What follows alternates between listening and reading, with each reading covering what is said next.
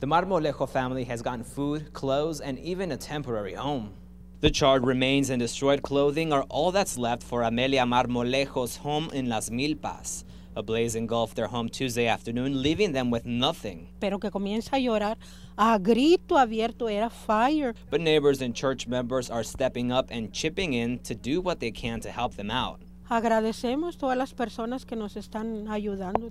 Since Tuesday evening, people have dropped off money, clothes, food, anything the family needs. Jonas Marmolejo says a neighbor is also allowing them to stay in a small home. His hospital bed, he's trying to, I don't know which, to get everything back. So, yeah, so get our prescription refill again and everything. So. Three of the family members are disabled and under medication. Help from the American Red Cross has allowed them to refill their prescriptions. We'll be all right. We're slowly, but thanks with everything, yeah, with everybody. Despite the setback, Jonas says their faith in God and their hard work will help them pull through. One of the family members rushed back inside to save two children that were trapped inside the home. She suffered burns and was taken to a hospital in San Antonio, but we're told that she is doing okay. In our Hidalgo County newsroom, Rafael Carranza, Action 4 News.